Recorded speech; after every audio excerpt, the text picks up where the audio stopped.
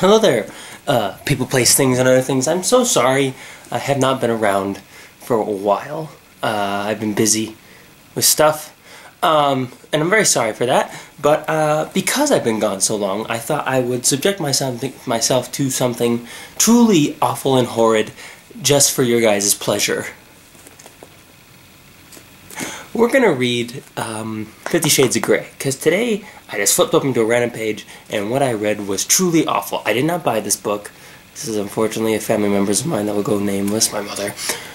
And we're gonna read it, and I'm gonna uh, we're gonna see how far I can get in this piece of crap. I'm not gonna read it all right now. That'd be a long video, and I don't think I could handle it all at one time. But we're gonna read this, and hopefully it's uh, I don't know. I don't know what I was gonna finish that sentence with. Um, but we're to read Fifty Shades of Grey. And uh, before I start, if you guys have any ideas for videos for me to do, please um, let me know, because this is the best I got. Let's start. My friend Holly says, please do read this. Please, please do. Please do. Okay.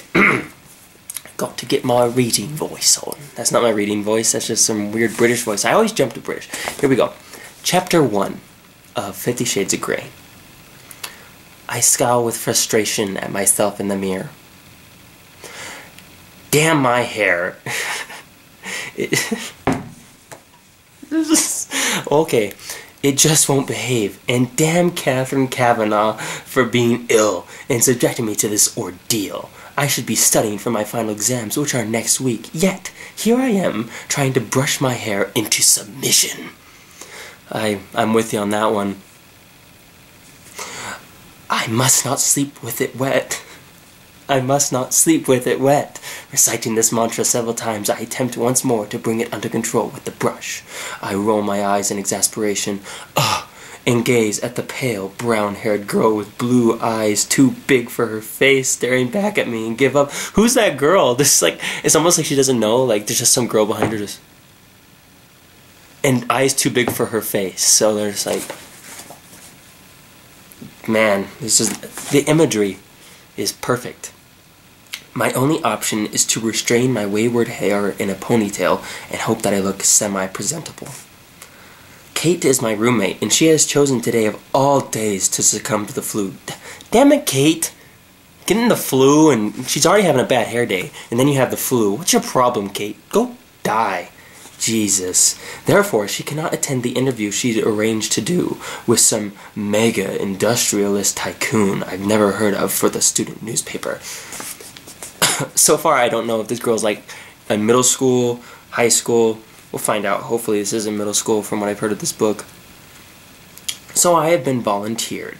I have final exams to cram for and one essay to finish, and I'm supposed to work be working this afternoon, but no! Today I have to drive 165 miles to downtown Seattle in order to meet the engineer in, enigmatic CEO of Grey Enterprises Holdings, Inc.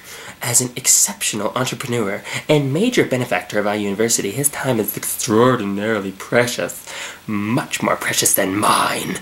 But he was granted he has granted Kate an interview, a real coup. She tells me, damn her extracurricular activities. This this protagonist hates Kate, and I'm with her. Kate's got the flu, she has extracurricular activities. I hate Kate.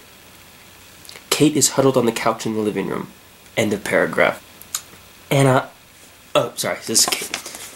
Anna, I'm sorry. It took me nine months to get this interview. it will take an, another six to reschedule.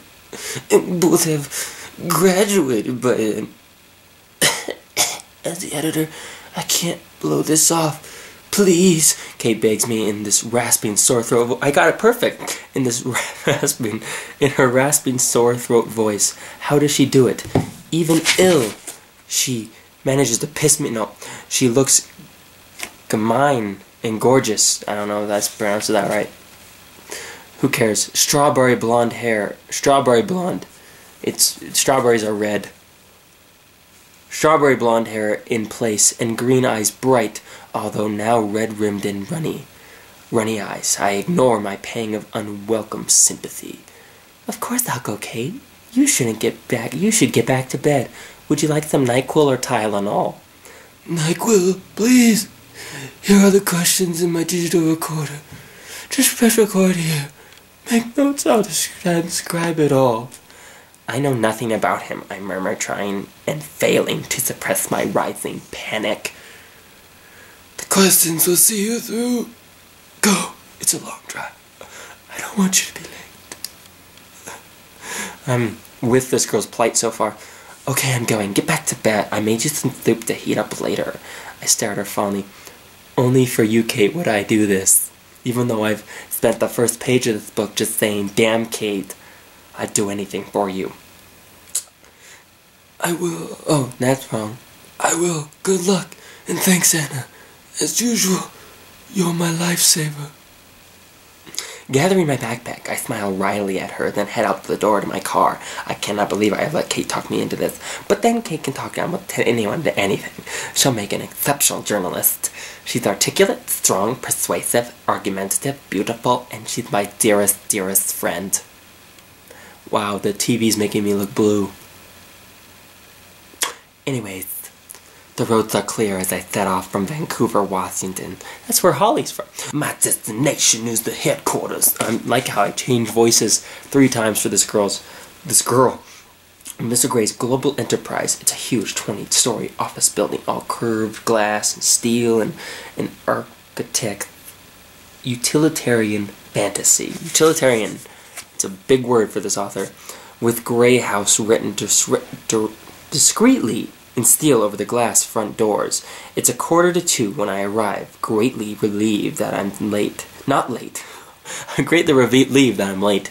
Greatly relieved I'm not late as I walk into the enormous and frankly intimidating glass, steel, and white sandstone lobby. It's really heating up. Behind the solid sandstone desk, a very attractive, groomed, blonde young woman smiles pleasantly at me. She's wearing the sharpest charcoal suit jacket and white shirt I have ever seen. She looks immaculate. Immaculate.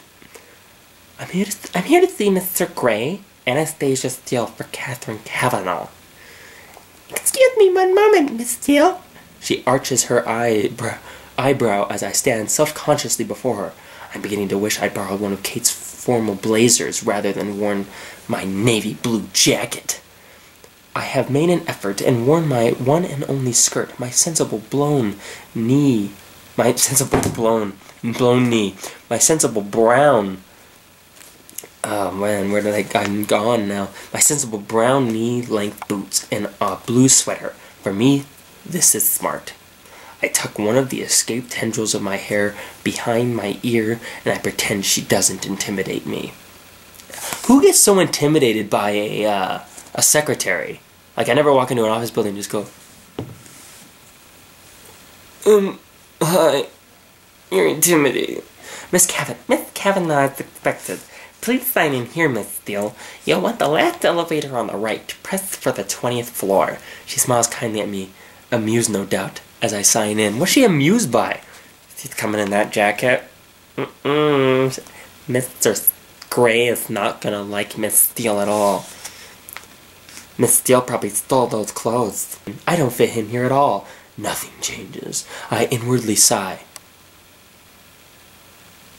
How do you inwardly sigh?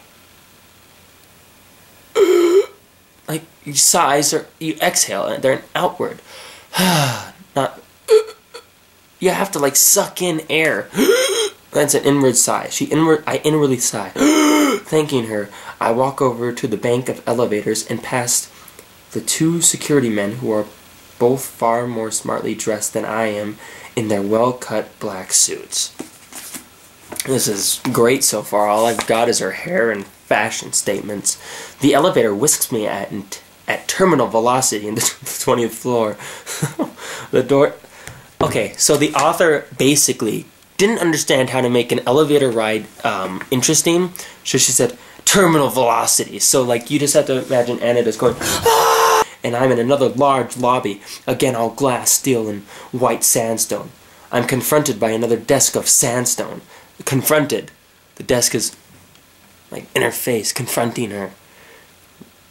She's got really. I'm. I'm. Okay.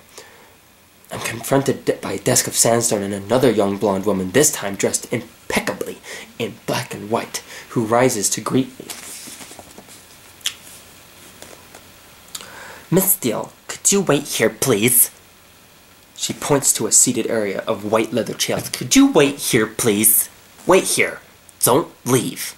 Behind the leather chairs is a spacious glass wall meeting room with an equally spacious dark wood table and at least 20 matching chairs around it.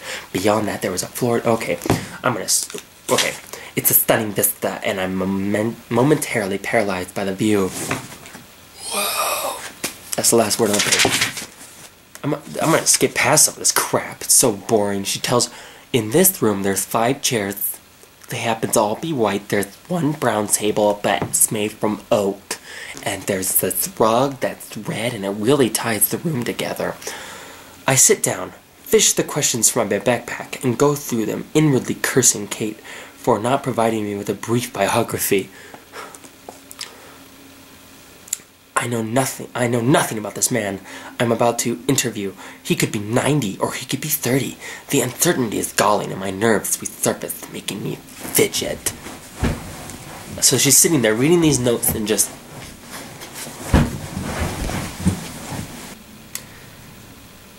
Okay.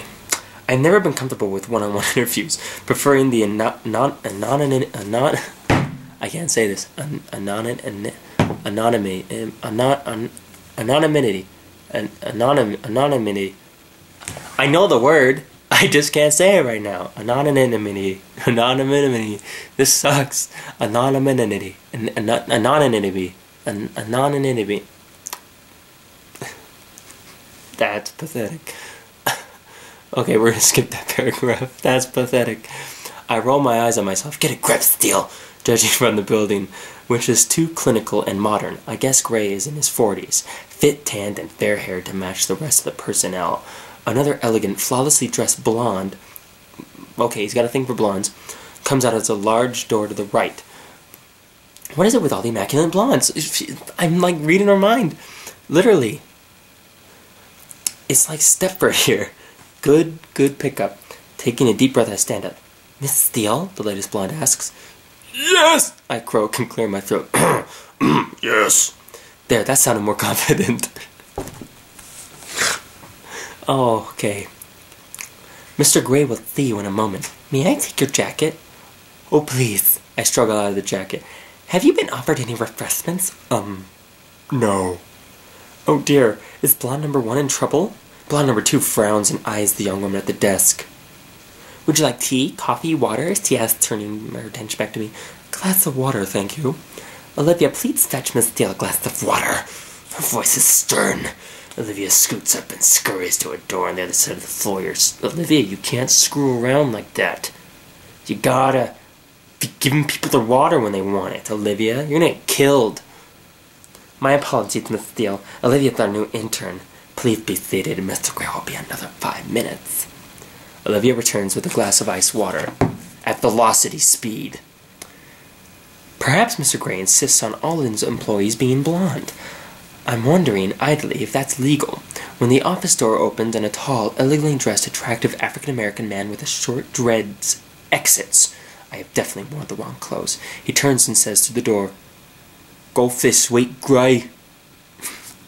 I'm sorry. I don't know why that's a voice. Golf this week, Grey. I don't hear the reply. He turns, sees me, and smiles, his dark eyes twinkling at the corners. Olivia has jumped up and called the elevator. She seems to excel at jumping from her seat. She's more nervous than me. Good afternoon, ladies, he says as he departs to the sliding doors. Mr. Grey will steal now, Miss Steele. Do go through, blonde number two says. I stand rather shakily. I stand rather shakily. Where did I go?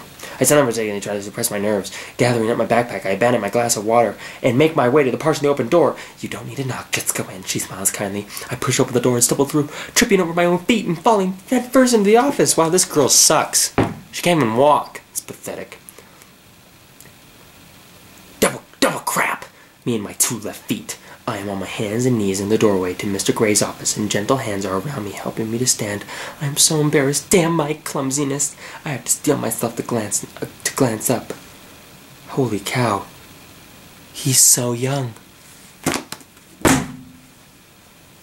That's what we got so far. Um, I'm done for now. I'll probably post another one tomorrow because that wasn't very entertaining. Where's all the sex? It's supposed to be a bunch of. There it is. Anyways, have a great day. And again, if you have any ideas for this channel, please let me know. Any more whiteboard videos or anything like that. I'll probably keep doing this just for my own interest. Because it probably will get funny later on after she's done talking about everything like it's so intense. I was confronted by the desk and blonde number one excels at jumping and I took this elevator of terminal velocity.